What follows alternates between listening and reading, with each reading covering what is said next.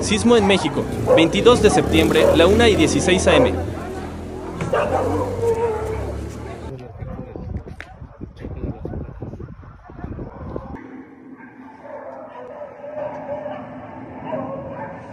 Miren, maestra, las luces en el cielo, vea. A derrumbar nuevamente. Vamos a retirarnos.